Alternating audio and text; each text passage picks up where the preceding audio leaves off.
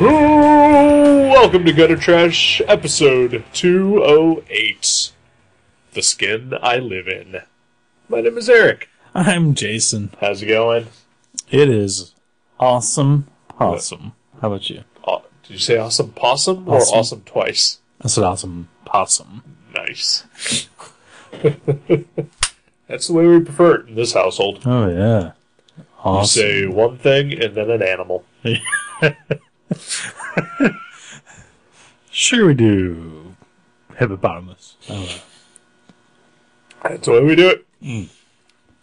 We're ju- enjoying waters tonight. Yeah, we are. Big old tall waters. Yeah. Cool right from your grocer's freezer. You can't you can't beat a water. no, you can't. No. Nope. It's the best there is. I enjoy water. Mm-hmm. Oh yeah, I drink water all the time. Same here. I, uh, in fact, I, uh, uh, I think I've, I've, I've made allusions to this before, maybe, but uh, back in May, I stopped drinking everything but water. Yeah. Uh, not not but water, but you know, also water. Yeah. Uh, Yeah, you still drink butt water. I know, of course. Yeah. Yeah. Uh, yeah. No, I uh, I realized that I needed to make a, uh, a massive change in my lifestyle, and I figured one of the easiest things that I could do uh, is uh, definitely uh, drinking only water. Uh, Starts the ball rolling yeah. with yeah. an easy thing. And I mean, I've failed in every other single way, but uh, I still pretty much only drink water now. Nice. Uh, in the past month or so, I've allowed myself to have a cup of coffee in the morning, and on the weekends, I've allowed myself to have a diet cola. But for the most part, it's just all water all the time, except for the rare instances like when I had a beer uh, on Friday. Right. Well. yeah. Yeah. But I was trying to kill brain cells, so Most people who drink beer are. um, well, I don't know if they're trying, but right, yeah, they're not trying, not on purpose. but they don't mind. exactly. Yeah, right, they're like, yeah, whatever. yeah. It's just a happy side effect. Yeah, it's just a bonus. Yeah, you get you forget stuff, Yeah. and who doesn't want to forget? Uh, In this day and age, come on, seriously. yeah. But uh, yeah, So yeah, here we are doing this again. a late night podcast here Sort of. for It, us. it got pretty late on us here. Yeah, Uh, Uh, we didn't realize the movie was five hours long. uh, yeah, I'm not sure how the time got away from us that Did- fast. Did it? Was the movie like extra long? It was two hours. Two hours. Yeah, Okay, that's it. Hmm. That- that's your standard movie length, maybe we stopped once so I could pee. right? I yeah, I don't know. Uh, yeah, I'm not sure, but yeah, it is now like a quarter to eleven right now. Yeah, we met at like six thirty or Yeah, so. yeah. Uh, yeah, usually this is the point in time where we're wrapping up and I am going to bed. Yeah. Uh, this is uh, this is messed up. God, speaking of messed up, Um, yeah, I don't know. sure, whatever. Yeah, yeah. Okay, before we start though, I wanted to say something. Okay. I, I feel like this movie cannot properly be reviewed without lots of spoilers. Okay. So I was thinking maybe we could spend the first few minutes spoiler free, and then have a point where we're like, from here on, there are spoilers. So if if it sounds good at this point and something you might want to see, then you know, when we get to that point, we can say leave the room now, or, Right. or turn this off. I I would uh, agree with you 100% that we cannot talk about this movie without spoiling it. Uh, I mean, yeah, well, I, I'm sure we could, But it would be very vague and like yeah, there would be giant sections of the film we couldn't really even. talk Explore, about. right. Yeah. Um, I well, let's let's go with this because because I think we did this for Moon. Um, I think people should see this movie Mm-hmm. and then come back to us and hear the review.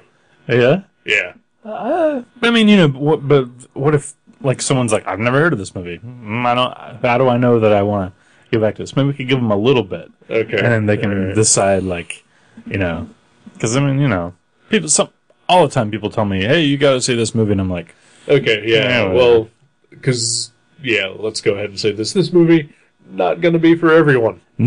right, yeah, yeah. I can think of like fifty percent of the people I'll, I'm friends with, even would be like, what, what the hell? Yeah. Okay. So so all right, I- I'm with you. Okay. So so this movie, The Skin I Live In. It's uh, it's a Spanish language film uh, directed by Pedro Almodovar, uh, who apparently is a very big director in Spain. Large man, you say? Uh, yes, yes. Uh, I've heard of a couple of his movies. Uh, I actually own one. I've owned it for years and have still yet to ever watch it. Oh, really? Called uh, Volver Oh, okay. with uh, Penelope Cruz. Yeah, Yeah. I haven't seen that either, but I, I've seen trailers. Yeah, yeah. Uh, in fact, I, there was like a span of six months where I went to the Neon a lot, and it seemed like that trailer was Yeah. Every That's movie. where I've seen the trailers. Yeah, it's like maybe like they're like, hey, shit, where, where's all these other trailer reels we were supposed to get in the mail? oh well, just run Volver again. Yeah, yeah, that was like in front of every movie I saw Yeah. for like a year there. But okay, well, I, I didn't catch the name. I didn't recognize the name. Yeah. Uh, so, so this movie uh, stars uh, Antonio Banderas, which um, I'm gonna have to thank you for picking this movie, just so that I can spend the rest of this episode saying Antonio Banderas. It's kind of a fun name to say. it is a totally fun name to say. It rolls around there in your tongue. I uh, I used to work at a movie theater, and uh, like right around the time when I started working there, uh, uh, Desperado came out. Oh yeah.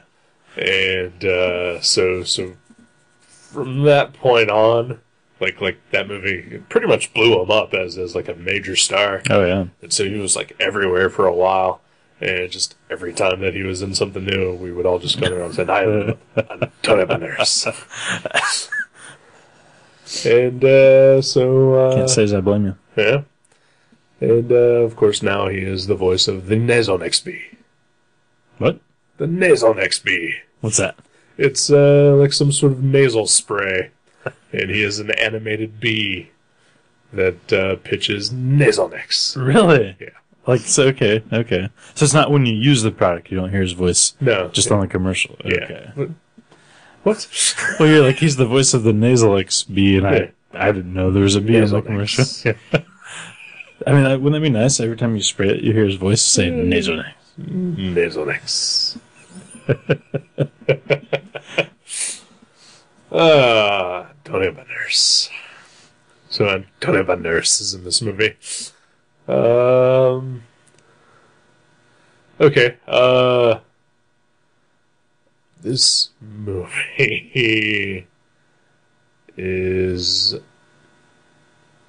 in a way, a Frankenstein movie. Okay. I hadn't thought about that, but uh yeah. It is uh, the, the basic gist of the movie is Antonio Banderas uh, is a mad scientist Mm-hmm. who is doing uh, horrific experiments. But it's not like you would think mad science. No, yeah, yeah, it like is. he's a It- it's a subdued type of mad science. yeah. Yeah. It's kind of kind of keeps it. It's like a hobby because he's a he's a surgeon, yeah, plastic surgeon. Yeah. Uh, for his career, but sort of in his off time, he does these other. Well, you know, doctors uh, sometimes do like you know their own private research and Right. to you know, because I mean you know, uh, even even a plastic surgeon can be a humanitarian and, and want to uh, and not just want to put you know giant tits in a you know some old rich lady. Right. You know, they're they're actually there to you know try to help people, like burn victims. Exactly, yeah. Right. And that's essentially the type of plastic surgeon he is. Yeah. Uh, and so he, he conducts some uh, off the books experiments in order to, you know, help further humanity and other things. Yeah. He kind of maybe has his own agenda as well. Yeah, yeah.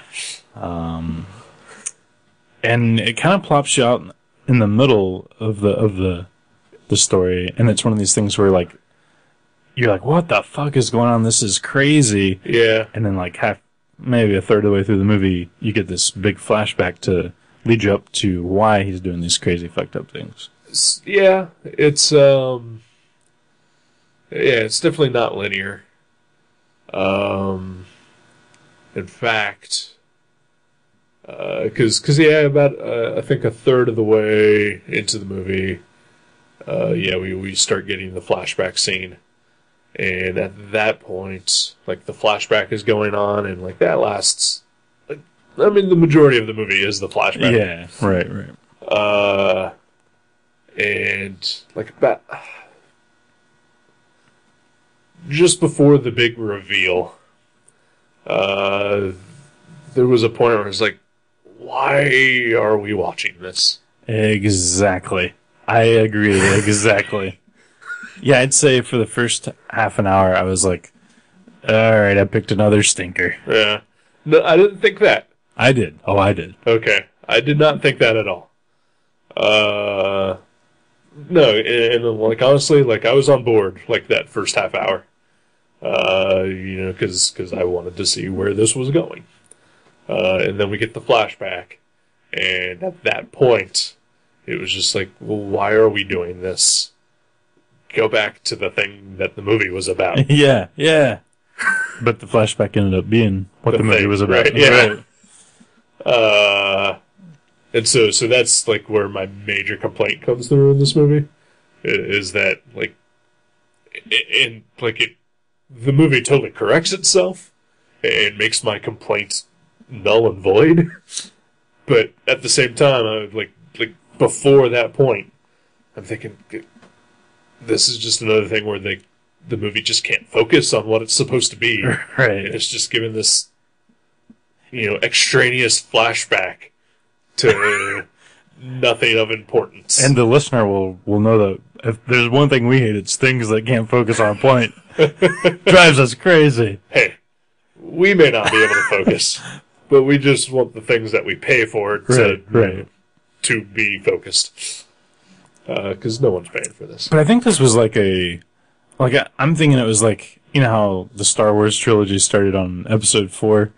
I think it was the same kind of thing where they were like, "This is the point where we want people to be dropped into the movie and be like, what the fuck is going on?" Right. And, and I think I think that was probably smart because if it was all completely linear, Oh yeah, it like would. yeah, it wouldn't yeah. have built up correctly, and yeah, Yeah, uh, yeah, it would not have worked at all as an effective movie.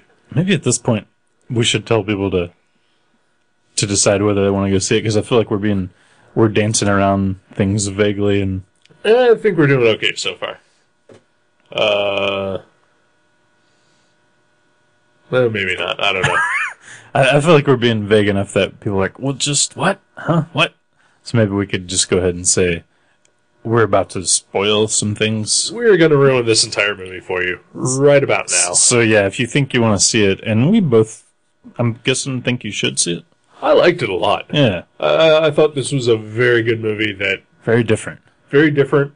Uh, it, lags in the middle a little bit, hmm uh, but what I thought was lagging about it completely fixes itself Yeah, yeah. because of what we were about to spoil. Right. So So uh, spoilers are seconds away. Yeah.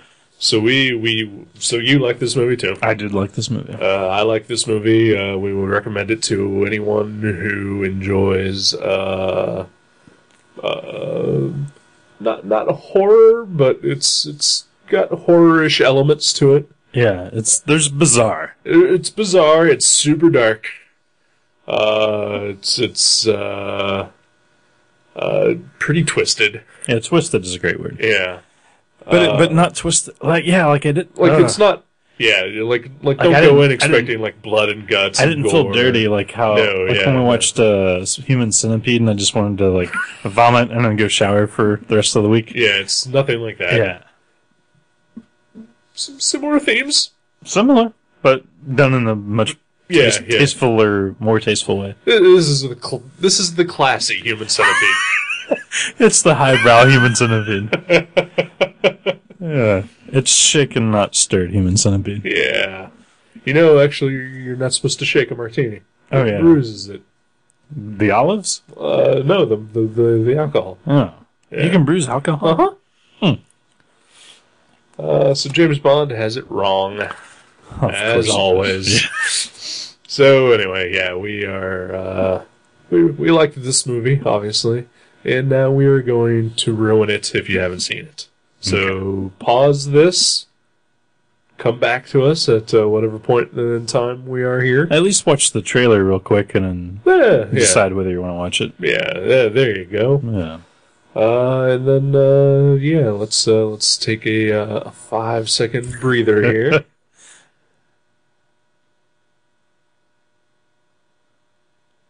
okay, so you're you're either uh, with us or uh, you you went ahead and you watched the movie and you're with us again. So let's do this. All right. Um, so the basic plot of this is uh, Antonio Banderas is uh, a scientist, a doctor, plastic surgeon who we meet his patient, who who is this woman. We don't know why she's there really at first. She's in his home. She's in his home. Uh, he, he owns like a castle, uh, and he also has his own uh, laboratory and uh, uh, operating room uh, in there. Right. Like we all want. Yeah. That's how I want to go. The laboratory. Yeah, so we we meet this woman who is in uh she wears like this flesh colored body stocking, like like from toe to neck, like she's completely covered. Uh and she's kept in a locked room. yeah. And, which at first I thought she was like it was some germ thing Uh-huh. where like she couldn't be around people Right. like because of germs or something. Like that's what I was thinking, but no. turns out that's not it. Nope. Uh so yeah, so so yeah, he's treating this woman, we don't know what for. Uh, uh at one point she like like when we realize that uh, she is in the same house that he is in, because we meet him like at a a lecture and he's talking about ver- burn victims and, and treating them and, and doing face transplants and stuff like that. Right. Uh, so so we know you know what what sort of work he does. Uh, but uh, he basically monitors her from like every room in his house, uh, and uh, also keeps her drugged up with opium. Right. Uh, And likes to watch her uh, doing things in the nude. yeah, yeah. And so uh, she he goes to go give her some some more opium and uh, discovers that she uh, had made an attempt to kill herself. So he, he treats her wounds and uh, we discover that he's basically made a synthetic skin, which he has uh, transplanted onto her, uh, which uh, the skin is like impervious to harm. Yeah. Uh, Can't be burned or can't get bitten by by bugs. Right. It's like a super hard, strong skin, but like also super soft. Right, right. Yeah, It's, Uh, yeah, it's it's like a superhero skin. sort of. Yeah, Yeah. yeah.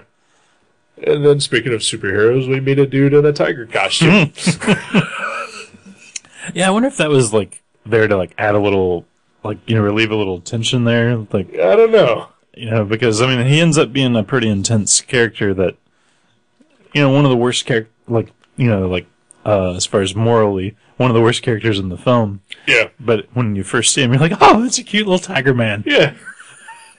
Running around in a tail and a cape and a mask. Yeah, that's adorable. Mooning a camera. Yeah, yeah. Oh, what a scamp. and then darkness happens. Oh yeah.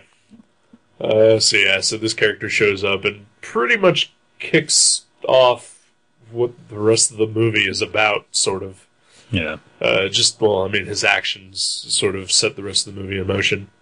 Because he he basically he he is the the the son of uh, the maid or the, the the housekeeper, whatever. Right. Uh, who also is Antonius Antonio Banderas' character uh, mother as well. Uh, illegitimate sons. Uh, but this guy's a criminal.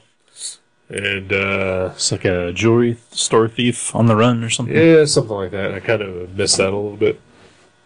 but uh, did know that. Uh, uh, well, we come to find out later that he uh, he basically sort of stolen uh, Antonio Banderas' wife, and then got into like a huge car accident, which he escaped from, and uh, his wife uh, nearly burned to death, but didn't, and that sort of is what motivates Banderas' character to you know create this synthetic skin. Right. Uh, so anyway, so this this char- character, uh, Zeca, I think his name is, Yeah. Uh, Tiger Man, the Tiger. they call him the Tiger. Yeah. Uh, finds uh, this woman locked up in the room and uh, uh, thinks that uh, because she looks exactly like uh, uh, Antonio Banderas' uh, dead wife. And his uh, his mistress. Right. So he uh, he goes to get her and uh, breaks her out, and then uh, basically rapes her. Right. Uh, when uh, Banderas comes home and then kills him. Uh, and so uh, he he saves this woman, and uh, then after the cleanup, we get some exposition from the uh, the matron. Uh, Banderas and this woman uh, sleep together. Which I thought was weird. It's a little weird, yeah. I mean, you know, you're your you're even if it is your house prisoner. Right. Uh, if someone gets raped that day, they Yeah. probably don't want to have sex that night. Yeah, yeah. I would imagine. Yeah, I would imagine that as well. Uh, but but they don't. They actually Right. have sex. They, they just uh, fall asleep together.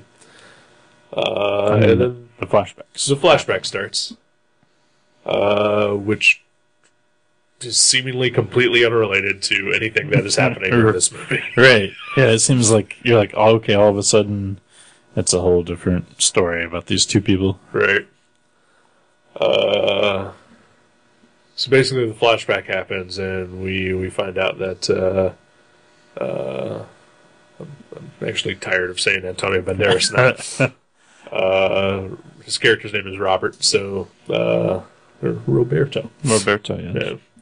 So uh, Robert uh, has a daughter. Uh, we discover who uh, witnessed her her mother's death, uh, and so was very uh, emotionally fragile.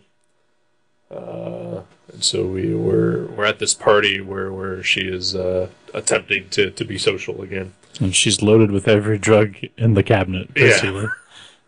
Uh, well, yeah, well, but it's all prescription. Right. Yeah, it's all like antidepressants and yeah, yes. Uh, so uh, well, basically, she gets raped by by some dude.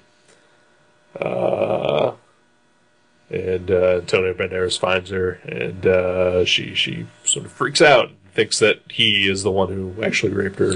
Well, it's weird too because that whole scene. It seems like, you know, they're like giggling and walking in the woods together and like making Right. out, and all of a sudden, um, She freaks out. yeah, like in the middle. I mean, it almost seems like he wasn't he wasn't raping her, but she like is so drug addled that like Right. like as they're like starting to have sex, she just like has this freak out.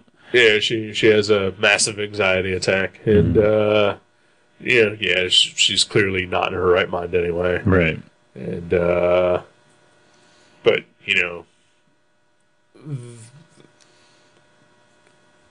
I guess you know the second that uh, a woman starts trying to push you off of her, and uh, and you're still inside of her, I guess that's rape at that point. See, I always go the, third time she tries to push you off. like I, I figured the first two, she's a woman, she doesn't know what she's talking about. oh, that was that was poor comedy. Yeah, was Sorry. Yeah. poor comedy. Sorry. It's all right. Um, no, yeah, but I mean, yeah, she like in the in the film, like I really did as a viewer get the sense that you know she was in, into this guy and Right, she was yeah, like making out in real and like even she was like, all right, let's have sex, and then Right. as soon as like they started having sex, She's starting getting second thoughts. about yeah, it. right, yeah. and and then yeah, of course, you know he should not continue. right. Um, uh, like she she bites him she bites his hand and then he winds up like punching her in the face and completely knocking her out in one punch right, uh, then uh, just freaks out and like puts her clothes back on and then leaves and then uh, robert finds her like you know minutes later, and uh, And he sees the the dude uh, Yeah, kind of yeah. fleeing the scene on his moped. yep, it was an actual motorcycle. An actual motorcycle. Okay. yeah, yeah. It, it looked kind of crappy though. No, it was a tiny motorcycle. Yeah. Yeah, it's definitely not a manly motorcycle. No. Yeah, Rapists aren't real men. That's why exactly. they don't deserve real he was motorcycles. also a tiny dude too. he too. was a tiny dude. He looked uh, kind of womanly, in fact. Uh, a little bit, uh, but I was also going to say uh, like the Spanish David Spade. yeah, yeah. His hair was less annoying too. Yeah, yeah, yeah. Uh, but it looked just as fake. yeah. And he had uh, the same type of shitty uh, goatee. hmm Yeah, I wore that goatee for many years. I'm still wearing it. Uh, so, uh, so yeah, so then, uh, like, like it kind of becomes non-linear even more from here. Like we eventually discover that uh, the daughter like gets locked up in a psychiatric hospital, and she basically freaks out whenever there's a man in the room, uh, especially her, you know, uh, her father, right, who she does really think, you know, attacked her. right. Because he was the one who found her minutes later. Right. She just associated the two. Right. And uh, because of that, she winds up uh, killing herself. Uh, she jumps out of a window uh, the same way her mother died. Uh, and so then the story starts focusing on the the rapist, the the the, the dude, and uh, and at this point, I'm still wondering why the hell we're watching this. Yeah, yeah. I know, right? I was at this point. I was like, "Oh boy, I'm Yeah. bored, and this is bad." Um. So yeah, so so we focus on this dude, and uh, he, like he realizes that he's in trouble, and he, he's making sort of vague mentionings to uh, a woman that he works with uh, for his mother, that that he might have to disappear, Right. and uh, and then uh, we see uh, Antonio Banderas wearing a uh, a fake face, uh, run him off the road and kidnap him, uh, causing him to disappear. Yeah, he catches him in the middle of the night by himself on his moped and just Right. or mo- motorbike, motorbike, Yeah. and then uh, yeah, he, gets him in his uh, van. Yeah, yeah. He's got a van. He uh, stages uh, like the bike crash to to uh, go off a cliff. Right. Uh, but then he uh, kidnaps the kid and uh, keeps him chained up in a, in a dungeon. Kind of starves him a little. a little bit, starves him, uh, gives him some water, but then he uh, he does feed him a little bit, uh, washes him, and uh, uh, but but still keeping him imprisoned. Uh, then uh, in a in a very tense scene, shaves him Yeah. Yeah. uh, with a straight razor, which uh, I'm, not, I'm not a fan of that. Mm, no. Yeah. Uh, and then uh, and then preps him for surgery. Uh, I think you can see where this is going, people. Yeah. So he uh he gets his uh, his surgery team in, and uh, they all uh, get to work on this uh, this kid that he kidnapped, who, who he's you know obviously you know falsifying records and everything about. Um, and then when he, the kid wakes up, uh, wants to know what what uh, what has happened to him, and it uh, uh, they gave him a vagina. Yeah. and and they took away his penis. They, did, they didn't just like Right, yeah, add a no, yeah, vagina into yeah. the mix. Yeah, they, they replaced Mm-hmm. one for the other. And and by the time he, we should say by the time he wakes up, the other doctors are gone. So Yeah, like yeah. they all thought like he had signed away on these papers, and Right, like he was yeah. just he was just out by the time they got there. And Right, right. So yeah, everybody thinks it's kosher, uh, but it's not. No, Um, and uh, gets worse from there. yeah, he Uh, kind of. Yeah, I don't, I don't even know how to describe. Well, uh, he teaches him all about uh, using uh, dildos in order to deepen his vagina. Yeah, Uh, he gives him makeup. yeah. Uh, well, well, uh, that's that's uh, after the fact, because uh, he, he keeps him around for a while and like, examines him, and then uh, uh, the doctor then continues more experiments on him, completely changing him into a woman. Yeah. Uh, gives him uh, basically operates on his entire body. Right. Changes his voice. Changes his voice, uh, his his face, uh, puts him in like this weird mask thing that that molds his uh, face, and that's when he starts making him wear the uh, the the The bodysuit. the bodysuit in order to, to keep the shape of, of his new body, basically. Uh, and we uh, he, he makes an escape attempt, but uh, that's that's uh, when Banderas basically starts locking him in. I love that scene too. It was so crazy and intense because, like this, this man or or woman now, Right. she's like dressed all in black, but she has this fucking crazy, like mask. yeah, and you can see her eyes and her like a bit of her nose and mouth peeking out, but it's like this weird shaped like white plastic mask that wraps around her face, like a hockey mask with like you know facial features revealed. Right, right. And uh yeah, it's like a really weird scene and it's just I mean it's like visually interesting just like the two of them because he's just like this rich looking dude Right. and she's like this fucking crazy f- freak now. Right. Uh, and so yeah, so then we, we, we start. I mean, yeah. So so this dude who raped his daughter is this girl that we have been spent you know like the first third of this movie with. Right, you're like, "Oh shit. Yeah, That's yeah, how these two stories are intertwining." Yeah, and that's when the interest started coming back. Yeah. Yeah, I was like, "Wow, this is fucked up." and, and it's like it's like a soap opera at that point. You're like, Oh, yeah. it's so ridiculous because I mean, if you think about it, like Antonio Banderas and that Zeca Tiger Zoot guy are brothers. You find out like, yeah, yeah. and you're like, oh, of course they're brothers, and then and then like there's all this weird like kidnappings and rapes and Yeah, s- you know just. Eh, wow, it really is. Yeah, Yeah, it's like a, it's like an awesome. It's like Twin Peaks was an awesome soap opera, right. and I think this was like a really dark and like interesting soap opera too, Yeah, yeah. but as a movie instead of a Right, obviously. Yeah. Uh, yeah, and uh, like I said, it is kind of like a Frankenstein story, in which he, he has basically uh, created this this monster Right. who uh, you know uh, kind of turns on him, you know, and, and uh, he he sort of starts neglecting a little bit. Uh, but I mean, ah, it's weird. It's fucked up. Yeah. But it, but eventually she seems to like really take a uh, Yeah, she like- she gets a very uh like uh you know it Patty Hearst was was that the the woman yeah right right. uh, like a yeah Stockholm, Stockholm syndrome, yeah yeah. Well, I think the yoga helped. She started learning yoga. yeah, She learned to relax. Uh, did some sculpting and then uh, yeah, yeah started some some, artwork, some artwork and writing on the walls yeah, and yeah, she started like eventually just seeming to really, really dig Roberto. yeah.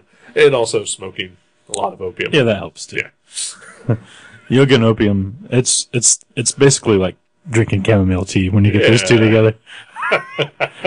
Try it, kids. You'll sleep like a baby. Yeah. Yeah. Wow. wow. We may have been. Uh, yeah, we might be onto something there. Like a million dollar idea. That could be better than Pilates. Just smoke some opium every day at work. and Do some yoga. yeah that's ticket Yeah. Uh, so yeah, so uh, so yeah, that that's that's sort That's- of the, that that's uh, the main reveal, yeah. yeah. Uh, which which yeah, it was was the biggest uh stumbling block for me as far as like enjoying this movie entirely. Right. Which you know, like I did enjoy the movie, like, like I really did like it. You know, by the end of it, you know, but man, like that that middle thirty minutes or so, Yeah. like, what is happening? I, it's ballsy too for them to be like, you know, when they're watching, you know, watching the rough cuts or whatever, be like, man, I don't know if people are going to be on board with this. Like, it's ballsy of them to just go ahead and like, well, this is how we want to tell this story instead of like right, making it a little more like, palatable. yeah, because it's yeah. At first, I mean, it just seems weird and like, uninteresting even in, Yeah, spots, yeah. but but that's the way they wanted to tell a story, and it and it, It and works. It pays off if you hang in there. Yeah. yeah, yeah. I think that's the that is the thing that that if if there was no payoff or if the payoff stumbled in any sort of way, that I think the entire movie was hanging on to that. Like like if it was Right. yeah, like it's completely reliant on that, and they they managed to pull it off.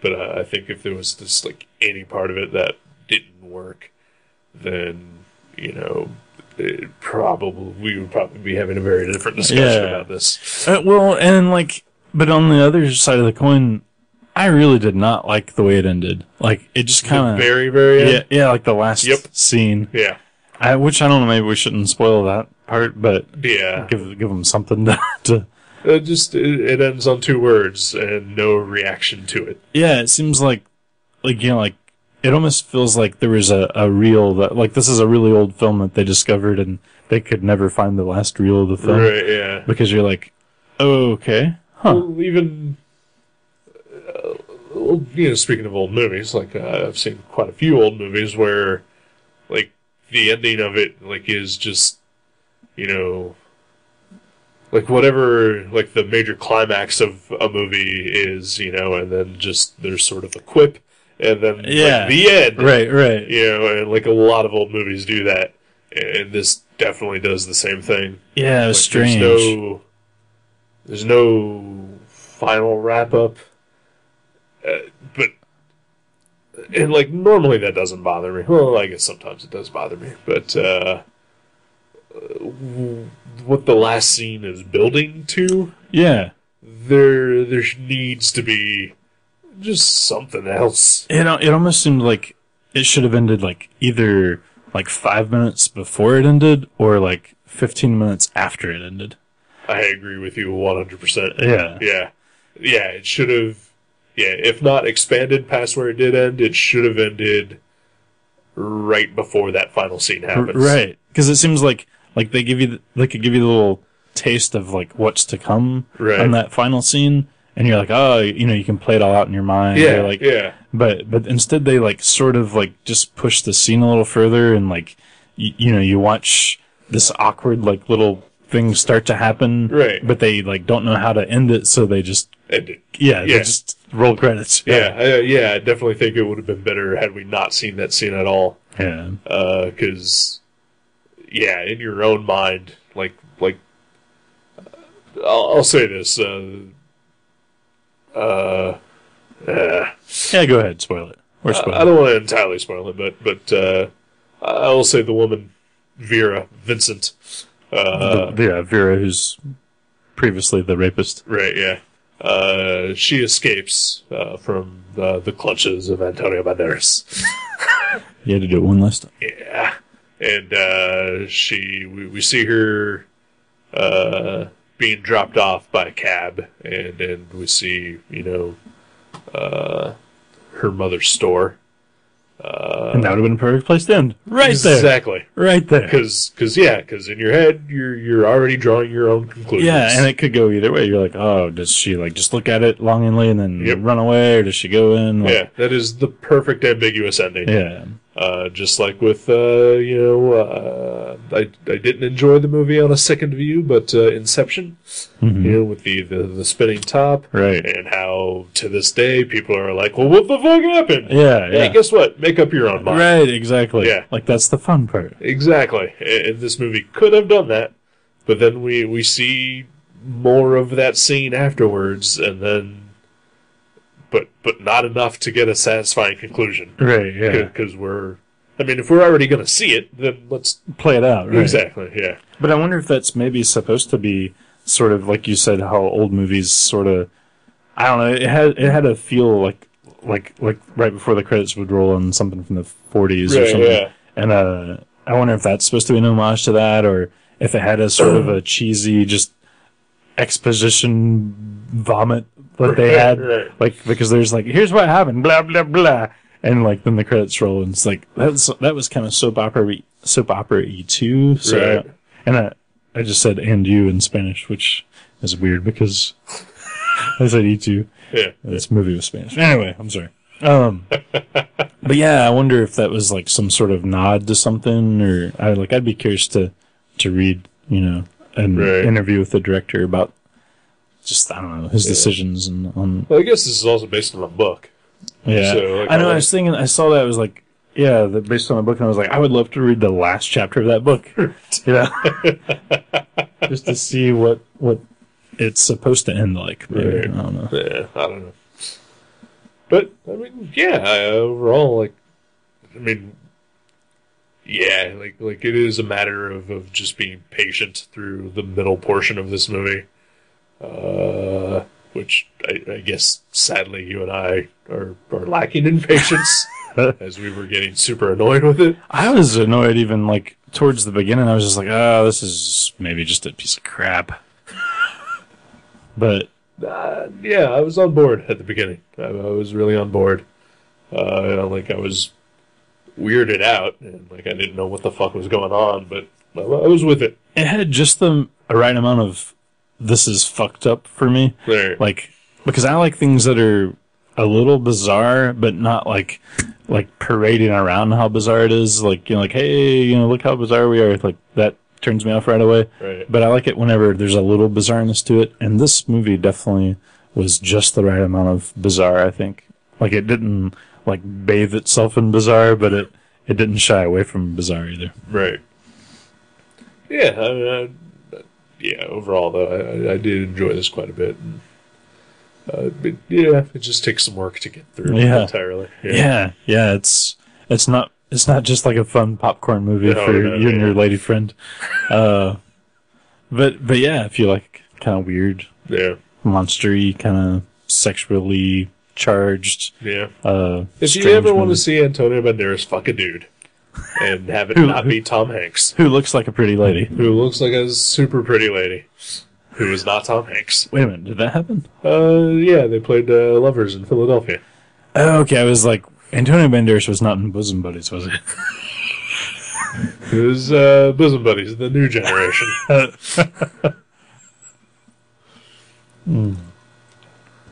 yeah, yeah, pretty pretty cool movie. yeah, well, I do want to talk about Antonio Banderas a little bit. Oh yeah. Uh, man, what happened to that guy?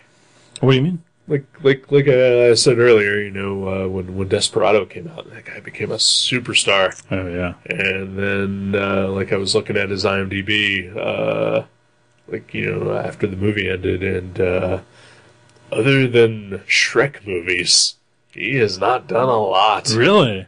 I mean, he's done a lot, but stuff I've never heard of. Hmm. Uh, I just assumed he was making like you know non Hollywood movies that I hadn't heard of. I mean, I guess he is making more than a few, like, just Spanish language movies. Uh, you know, like, he's got, oh, like, some robot movie coming out that's a Spanish language movie, which, you know, they, robots are always awesome. Yeah. Uh, but I mean, like he was in uh, Haywire, that uh, Steven Soderbergh action movie, Oh okay. Yeah. uh, and uh, oh, something else I saw him in. Uh, man, I can't even remember now. But oh yeah, he's going to be in the the Machete sequel. Oh uh, yeah. Awesome. But like, I mean, he's just uh, pretty much just been the voice of Puss in Boots for like the past seven years. That's got to be a good gig though. I'm sure it's a good gig, but you know, it's like yeah, uh, he's know, better than that, right? Yeah, exactly. Uh, he's a super good actor, and uh, like, like I, it's just like he can't get a job in Hollywood anymore outside of you know voice acting Right. or you know Hmm. Nasonex commercials. Yeah, that's too bad. Yeah. Yeah, come on, Coen Brothers, get him in a movie. No, seriously, That'd be great. That'd be super awesome. Yeah, because I mean he's he's diverse. I mean he. Oh yeah. I mean he was fucking hilarious in Four Rooms. So like, Oh yeah. that, yeah. that was my favorite part of that movie. But like Um, it even seems like Robert Rodriguez. Well, I guess not, since he's going to be in the new Machete. But you know, it, it seemed like for a while he was in every Robert Rodriguez thing. Right. You know, uh, and then, just stopped being in them. Yeah. Got Maybe replaced by Danny Trejo. maybe Antonio Banderas wanted to like kind of squirrel himself away and prepare for his role as Puss in Boots for a while. And he was like, no, no, no, no, I take this seriously. I must prepare. and now he's back, and he's like, all right, I'm done. Yeah, I don't know. Uh, but yeah, I'd, I'd like to see him in, in more things that I don't have to read. yeah, we had. I think is it the last three movies we watched we had to read, um, which I don't mind. But, Uh, I don't mind either. Yeah, but we should definitely watch a, a, a just a straight talkie next time. Yeah, yeah, we should. uh, the, the- I'm pretty sure the movie I'm I'm gonna pick uh, after next week is uh, is, is English. Yeah, so sweet. Yeah. Uh, yeah. So Uh, the, the, one other thing I was going to mention about this movie, it's one of those movies where, uh, as soon as you're done watching it, you sort of want to watch the beginning of it again. Like Yeah. as soon as it was over, I was like, oh man, I would really love to watch like the first half an hour of this one more time. Like Right. like right as soon as the credits were rolling. You know? uh, right, right. So it's one of those where, like, if you like that sort of thing, where, you know, you know, it sort of makes you rethink what you've just watched. Yeah, You know, by the end of it, um, those are those are fun usually. Oh yeah, yeah. And it, it was yeah, it was well done. It just there's a couple of stumbling blocks, uh, mostly just the ending, I think. Yeah, I agree. But but yeah, Skin I Live In, pretty good. Mm-hmm. Just just uh, takes a little effort. Yeah, All right, take a break. sure. Yeah. Alrighty.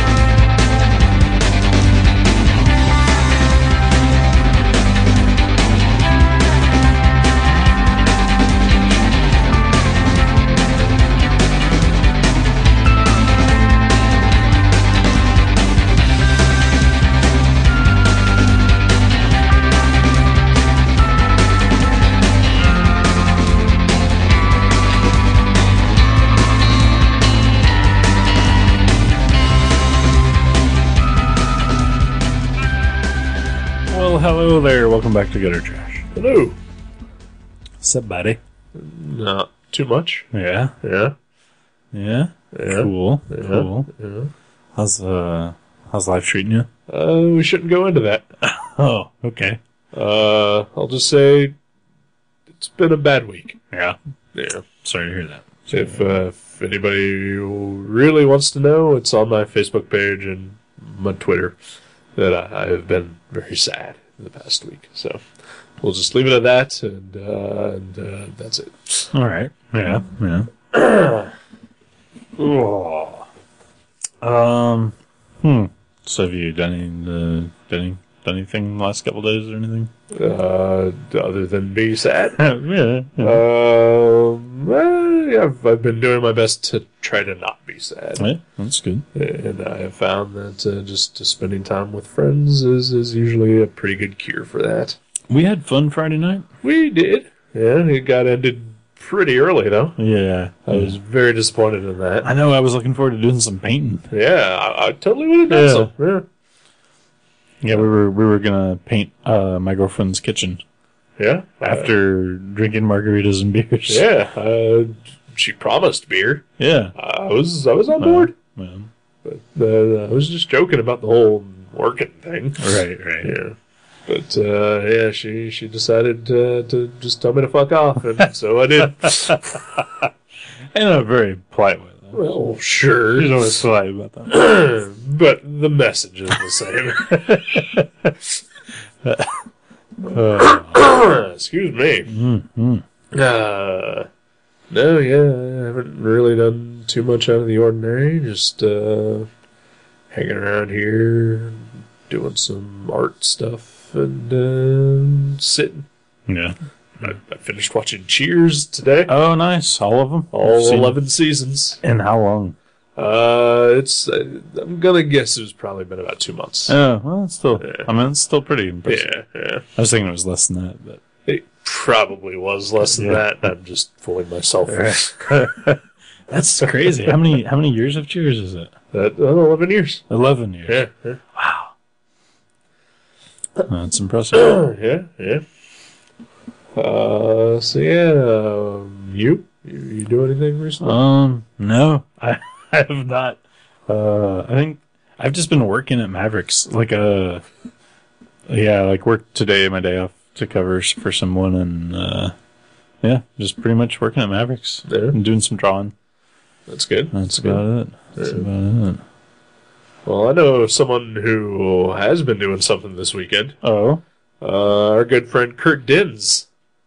Uh, he was at the uh, Days of the Dead convention, and uh, sounds like a horror con. I believe it is. Yeah, yeah. Uh, I looked on their website. They they mostly seem to have uh, horror people there, Right. and for some reason, Peter Criss. Well, he wore face makeup. That's pretty scary. Okay, yeah, yeah. Uh, is a Kitty Cat? Um, have you ever seen? Uh, The skin I in. yeah, uh, Kitty sure. Cat rapes a guy. Yeah. Or rape, no, yeah, Hey, he didn't know that though. that's true. Oh wow, he died without knowing that. Yeah, Oh, that's too bad. maybe it's for the best. Yeah. Yeah. I mean, Antonio Banderas, uh, he fully knew what he was doing. Yeah, that's true. Yeah. Oh yeah. I mean, he. Yeah. Wow. That's gross. Whatever. Uh, look, yeah, I don't care. Whatever. Hey, whatever you're into. If it makes Yeah. you happy, go for it. If it. you want to dress like a kitty and fuck a dude who you think is your uh, ex mistress, Yeah, whatever gets your rocks off. exactly. Uh, so speaking of that, Kurt uh, is uh, out at a convention this weekend, and uh, let's say that uh, he is promoted from uh, from listener, from uh, one time text guest, uh, to now our man on the street. Yeah, he's our Anderson Cooper. Yeah, he is.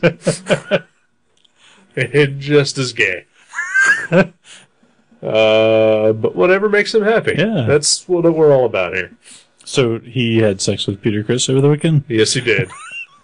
Awesome. Uh, but it cost him extra. Well, of course. Yeah. You always have to pay extra for the photos and the blowjobs. Um, no, so he, uh, yeah, he's decided that, because he's going to be spending uh, a lot of time at conventions uh, over the next year or so, that he's going to go out and uh, get us some uh, some sound bites. awesome. I love sound bites. Sound bites are pretty awesome. So uh, he he sent us one uh, just today of uh, the the uh, Days of the Dead convention. So we're going to go ahead and uh, listen to that right now. All right. Take it away, Kurt.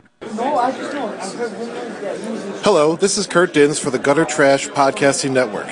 Today, I'm at Days of the Dead in Schaumburg, Illinois, with Chris Sarandon, famous for Fright Night, one of my favorite uh, movies, and Princess Bride. Chris has already selected the question for today. He will read it and then answer it. What was my first non acting job? Uh, my first non acting job was uh, selling paperback books for a company just uh, outside of Washington, D.C. I traveled all over the Washington, D.C. area, Maryland, Virginia, uh, going into schools and setting up paperback bookstores, which was actually kind of a cool job because um, I got a lot of great books. The books were almost always uh, classics of American or world literature uh, because they were going into schools, uh, and also sometimes bestsellers that were really well written books. So it was a cool job. It helped pay for my graduate school tuition and my car payments as well. So it was the perfect gig at the perfect time. There you have it. Thanks very much. So that was Kurt. Hey. Kurt doing some stuff. Great job. Yeah, it was super awesome. I couldn't have done it better. Could not Obvious- have. obviously. Listen to Yeah. us. Uh, yeah. So I mean, that was this is pretty much what I was hoping for when he, like, he he's texted me to ask me if he could start doing this. And I was like, yeah, that sounds awesome. And I was like, you know, yeah, just try to keep it under five minutes because obviously this is this is our show. Oh, yeah. You know, we, we don't need him, you know, just taking over the whole Right. thing. Uh, but he responded back. He was like, "Well, I figured it would just be thirty seconds." Even better. Yeah, but uh, uh, even this, uh, it was about a minute or so, Mhm. um, which was honestly way better than I thought would happen. Uh, no offense to to Chris Sarandon, uh, but you know he, he's not exactly what anyone would call an A-lister. Uh, Yeah, yeah, I mean, yeah, like the kids don't know who he is. right? Yeah. We grew up loving that movie, but Oh yeah, yeah, and yeah, uh, you know, definitely, uh, you know, Fright Night and Princess Bride, as, Right. as Kurt mentioned, yeah. uh, and he's I- been in a yeah. ton of other things too. you know. I was just thinking of Fright Night. Yeah. Oh, yeah, But, yeah. uh, but you know, I thought, well, you know, Kurt talks to anyone who who is just sort of, you know, famous but not like super famous. You know, any kind of question would just sort of be rambly, you know. but uh, but uh, it was pretty short and pretty sweet. Yeah. It was awesome. That was cool. Um, Uh, I'm looking forward to this segment. I am too. I always thought we needed a segment. uh, we we uh, we started out hoping to have a segment. That's right. We thought we had a segment there from the beginning. Yeah. it didn't happen. Uh, so so this is yeah. So this is nice. This will be pretty cool. Oh, And, yeah. uh, I know Kurt goes to, to horror conventions and to comic conventions, so obviously you know there's going to be a you know a wide variety of, of uh, people he can talk to. This is just like popped in my head, so I don't know. Maybe this wouldn't work or whatever. But maybe if eventually, you know, like if he knows exactly who he's going to talk to at a at the next convention, Right. maybe we could have a contest where like the listener could send a question and we Oh, could yeah. pick our favorite question. Yeah, yeah, it could be. Uh, but yeah, yeah, he would have to know exactly who, Who he's talking to? right? Because I think you know he, he just sort of went to see who he could talk to uh, this one for sure. Right, right. because yeah, he did ask me if like I had any requests, you know, for him to talk to, and I had two, and uh, I, I don't know if he got. Well, obviously he didn't get one of them because one of them was Peter Criss. uh, but I don't know if he talked to, to my other request or not. But uh, yeah, yeah, that could be a cool thing. At least, uh, Maybe a one-time thing. right? Yeah. Get a get a some uh, listener participation in there. Yeah, but it sounds like he, he just sort of had a list of uh, pre-made questions and, and uh, You let him choose one. yeah, Right. so and that's awesome too. Yeah. Oh yeah. So so thanks to Chris Sarandon for you know giving Yeah. us a minute of his time. That was really awesome of you. Yeah. I'm sure he's not listening. but, but, of course not. but yeah. Yeah. But yeah, great job. And great job to Kurt. Yeah, uh, thanks to him too. Yeah, that was awesome. Uh, I, I look forward to more. so uh, yeah, uh, uh, you uh, reading anything uh, this week? Watch anything Um, cool? I've I've been watching some of the third season of Bored to Death. I'm getting through that, which Yeah. is awesome. I love that show. I'm actually trying to pace myself because um, there's only like eight episodes per season, Right. and uh, think that's, the last one, isn't it? as the, as far as I know, I think like it got canceled. oh, did it? Yeah. Okay. Well, someone told me that they're talking about doing a movie though. I don't know, but you know how they've been talking about the rest Arrested Development movie for like ten years. So Oh, that's actually happening though. yeah. Well, not the movie, but there is a fourth season coming out, okay. uh, but only on Netflix.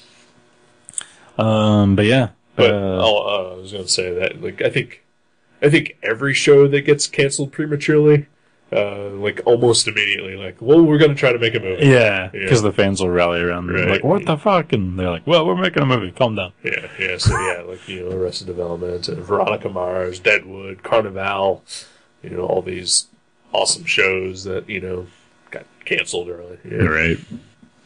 Yeah. I mean, hell, even uh, Breaking Bad, which is a planned ending, they're still talking about you know possibly being a movie afterwards. Really? Yeah. Really? Is this the last season of Breaking Bad? then? Yeah. Okay. Well, I mean, that's cool. I, I'd like to see him go out on top. Yeah. Uh, yeah, you know, uh, I like a I like a show with a planned ending. Uh, Mm-hmm. I like a a finite thing. right. Yeah. Like that's the problem with, uh, you know, why most uh, Marvel and DC comics kind of suck because Yeah. they're not just a story that's ongoing and like, Right. or I There's mean, only so many things you can do with when you're publishing the same character for fifty some years. yeah. And I love some of those characters. Oh yeah, me too. But fucking retire them. There you Yeah. go. You know, yeah. I mean, Mickey Mouse doesn't have cartoons Right. because he's just the mascot at this point. Yeah. You know, or you know, maybe uh, maybe Superman doesn't need uh, three monthly books. Maybe uh, no, maybe a graphic novel a year. Yeah. There you go. like a really awesome Superman story once a year. Right. we'll be fine. Yeah. Yeah, Just thoughts. Yeah. They're not listening. No. Those fucking bastards.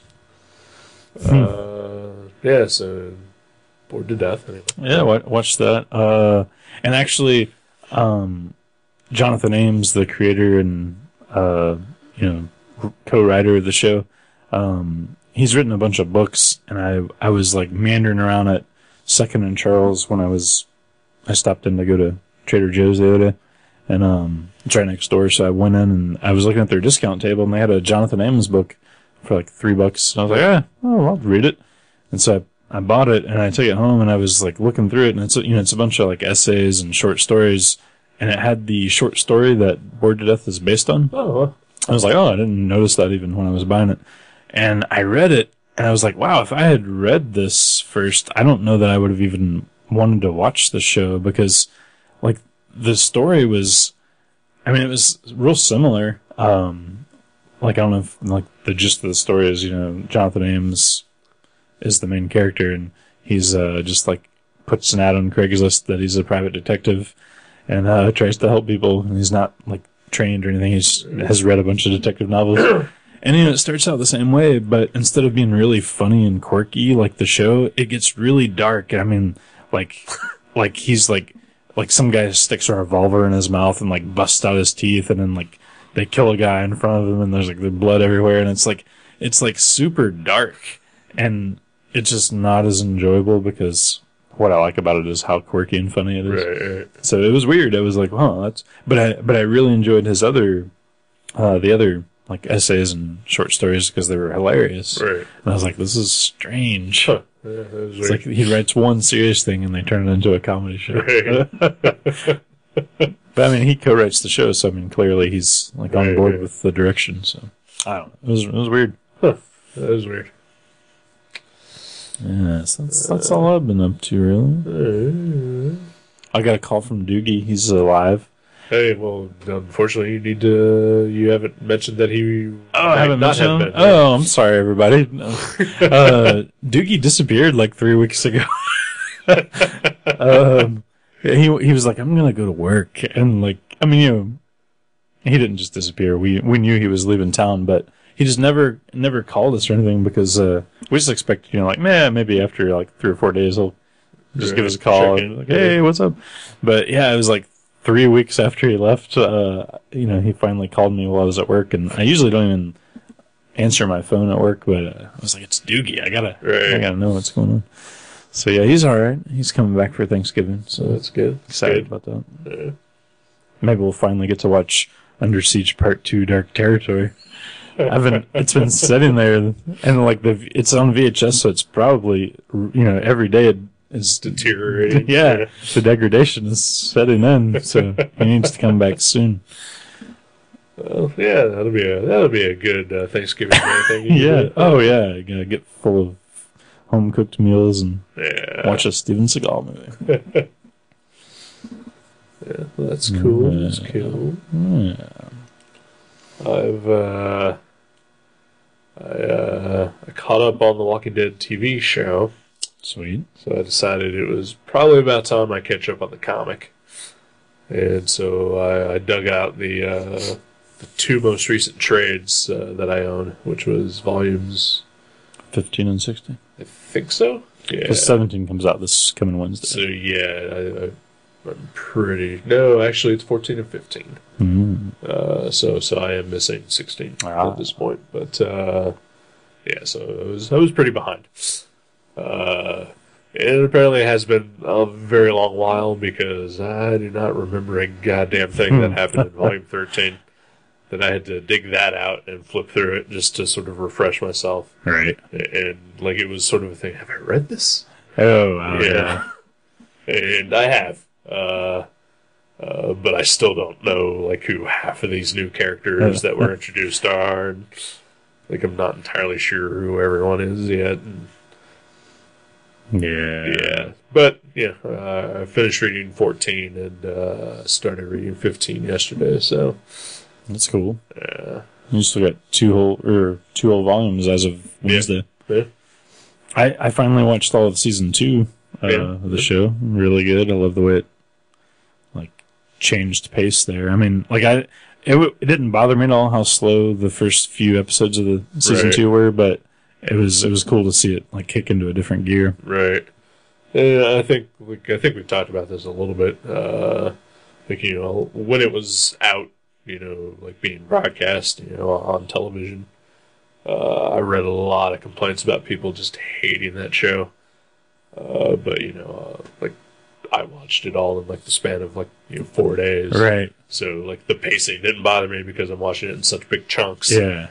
And it really does work pretty effectively that way. I you know I I, I kind of like I think I watched it perfectly too because I watched like the first two episodes of season two and then I waited like a week and watched a couple more Yeah. and waited a week and then like by the time like the pace was quickening I was like I had them all at my house instead of at Kathleen's Right. so I watched them all like in succession so it was like Right. as the pace of the show picked up so did the rate at which I watched them so it was yeah it kind of built real real well that way Yeah. Um, man, that's pretty much just about it. Um, we got uh, Thanksgiving coming up, uh, so you got your plans with Doogie. yeah But uh, I think we talked a little bit last week about you know anything going on, or you Uh. said I think you mentioned you you get to see your brother one last time before the, the holiday rush. I hope so. Yeah, I hope I get to see him. Him and uh, my cousin will probably be over and Doogie. So yeah, my nice little intimate uh, Thanksgiving. Yeah. Should be good. I uh, I got an email last night that uh, infuriated me. Oh, Uh 'cause I think like I, I signed a petition once online, and so now I get like these occasional emails saying, "Hey, please sign this petition." And the one I got last night was uh, it wasn't to do with Dave Sim's misogyny. no, no. uh, no, the one I got last night was worse. Uh, It was uh, a petition that some woman started because uh, she works at Target, and because Target is opening on Christmas night for for Black Friday sales, uh, she wants Target to close all their stores on Thanksgiving Day, uh, so that you know their employees can spend time with their families uh, on that day, and you know not worry about like you know all these Black Friday deals. And whatever. Fuck you. Fuck every single one of you who was signing that goddamn petition. Fuck every single employee at Target. Fuck you. Really? Yeah. My neighbor works at Target. Yeah, good. Go to work. Oh yeah, she said she's working like Yeah, ten good. hours that day. Don't fucking complain. If you want to complain, quit your goddamn job. Well, I I know I wouldn't want to work on Thanksgiving. Nobody wants to work on Thanksgiving, but sometimes you have to. I worked at a movie theater. I worked Yeah. at two hotels. I worked at Kinko's, and I worked at a TV station. Guess what? Didn't have a fucking holiday off for ten years. Uh, but I mean, that wasn't fun though, right? I don't care. I had a job. I got paid. I got paid overtime. Well, if they pay you well, like one of my buddies is working at uh, the Boston Stoker at the airport on Thanksgiving Day, Yeah. and he said he gets the for an eight-hour shift, he gets paid the equivalent of of usual uh, thirty-two hour shift. Yeah. He's pretty stoked about that. Yeah. He's Boston stoked about that. Fuck yeah, he is. But but I mean, if you're and just if working, not, quit. if you're not working for like, if you're just working for your regular wage, that is, eh, I would that would suck. I don't think they can legally do that uh, Oh, unless you're part time. Oh, okay. Uh, if you're part time, then yeah, you'll you'll probably just get paid your regular wage. But guess what? Quit if you don't like it. No. Don't work at a place that you know is going to be open uh, on a holiday. And I worked at places that not only were open every holiday, but 24 hours a day, Right. seven days a week. See, but I think like hospitals and whatnot, you're like, yeah, duh, I'm gonna, I'm gonna work. But it's like, why, why are they, you know, why are they open? You know, Why hospitals are open? no, no, like why is Target open on Thanksgiving? Like, Because it's their because they can open and close whenever the fuck they want. uh, yeah, but I mean that is kind of crappy. Who cares? If you work a retail job, suck it up and deal with it, or get another job. Count yourself lucky if you work at a retail job that closes on a holiday. Yeah, yeah, ours is. None of them have. Uh, none of them have to. I mean, Mavericks is pretty small, but yeah, Yeah. we're closed on Thanksgiving. So. But you know, like I said, I have worked like every place that I worked from the ages of sixteen through twenty six. Uh, have all been places where they're always open. right. Always. Never once did I ever complain. Because also sometimes, you know, guess what? I don't want to spend the entire day with my family Right. Right. Because that gets really fucking boring sometimes. Yeah, but I mean, it it would suck for like families who, you know, they they want to get together on Thanksgiving and they can't because they're stuck at their job. Yeah.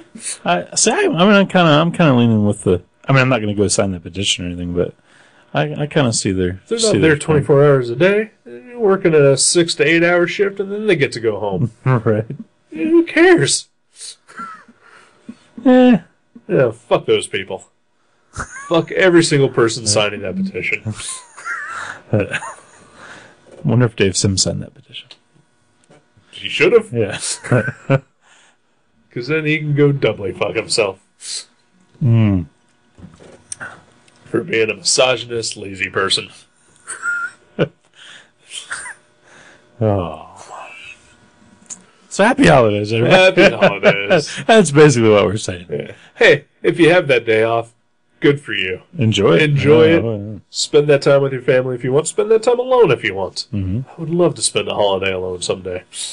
Uh, maybe not this year, but uh, in a future year. Yeah. Um, actually, I kind of don't want to go to my parents this year, but just because of that thing I talked about earlier that I don't really want to talk about. Right. Uh, but yeah, just- you know what? I just I like the fact that my current job allows me to have holiday off and, and get paid for that.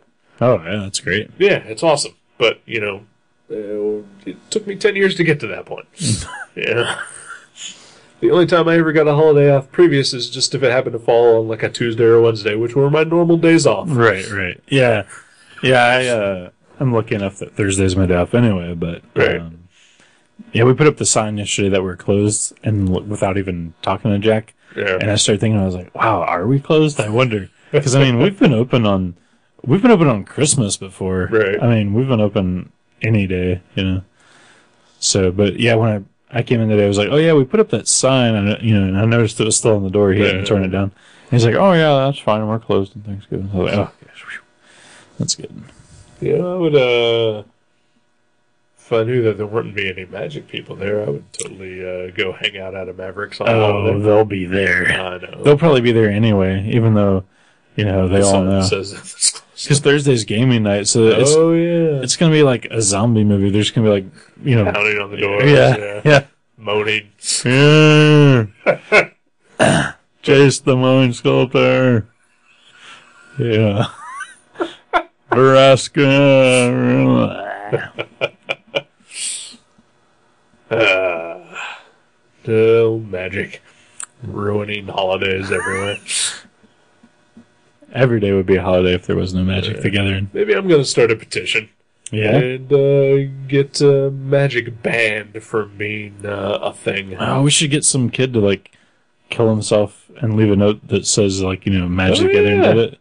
And then get the clutching some magic cards. oh yeah, that'd be great. Get some like foil. Republicans involved. It'll be awesome. yeah, yeah. Uh, we, we don't really want people to die, but uh, Unless they play Magic. unless they play magic, yeah. legitimately. Yeah. Uh, all right. I guess I should pick uh, a comic book for us to read, and uh, We both like read comic books. we do, and uh, we're gonna have to to read one for the next show. So might as well pick the one that we're gonna do, right? That makes sense. Yeah, yeah. So, uh, so this comic book that I'm picking is, uh, it's, and I'm sure we'll we'll get more into it uh, when, when we actually do the review. But it's a comic that uh, came out a very long time ago as a 24 page comic. And then last year came out again as a 100 plus page graphic novel. Oh wow. And it is a story about friendship. Oh, oh, that sounds heartwarming. Yeah. It is called My Friend Dahmer. Oh, yeah. Very heartwarming. Yeah. That's it's ironic because I don't know if you remember, but there's also uh, there was a man with the last name Dahmer who killed a bunch of people in the '90s. Uh huh. Um, so that's ironic. I don't think that's ironic. oh, really? Yeah. uh, mostly because they're the same guy.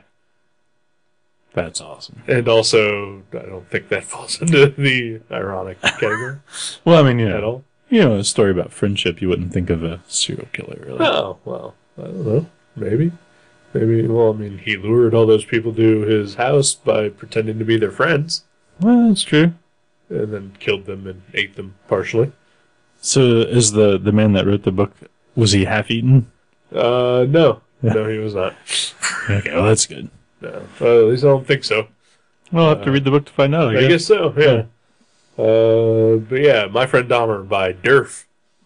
Well, he's only got half a name, so Well, that's true. Dahmer ate half his Yeah. name. I think he has a full name. It's Derf Backderf. Oh, is it? huh. No, that's ironic. Yeah, it is a, uh, it's an autobiographical comic Yeah, I love reading those. about a guy who was once friends with Jeffrey Dahmer, the serial killer. You know, actually, it's funny when you brought up autobiographical comics. It reminded me. This morning, I was driving to work and I was listening to uh, YSO, the, Okay. the public radio, and I laughed out loud because they were like when I turned on the radio, they were like comics, like it's like the first word I heard, and I was like, what?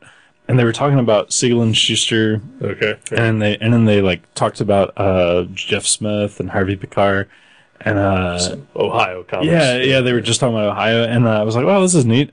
And they were, but when they started talking about Harvey Pekar, I remember I was like at a at a stoplight, like you know, like waiting for my time to turn, and uh, and they were like, they're like, yeah, and uh, you know, he pioneered this, you know, this this genre, like in the, you know, like 1976 to begin American Splendor, and and they're like, you know, he he started doing these autobiographical comics, which are all the rage today, and I was like, ha, ha! yeah, oh yeah, we can't stop selling those things at Mavericks, All the rage. yeah, I mean, every time I go to, you know, some of these gossip and rumor sites, it's all about, you know, what cartoonist is, you know, working on their autobiographical comic. and, yeah. Uh, people arguing about which autobiographical comics are the best, and you know, can uh, can't believe like uh that that cover has uh uh that autobiographical character twisted in such a way. right, yeah, yeah, or you know, just just these stupid arguments like can Jeffrey Brown beat up James Kochalka? yeah, you know, of course he can. yeah, of course, yeah. Oh my gosh. you know, all these autobiographical crossovers. It was amazing. wow. Yeah, even. Yeah. Never mind. Yeah, we're, we're done. Yeah, I gotta go home and count all the money I've made on my autobiographical comics this week. I gotta get those royalty checks cashed. They're just rolling in. All right then. Well, we'll uh, we'll be back next week. With Derf. Derf, my Ah, friend Dahmer. Goodbye.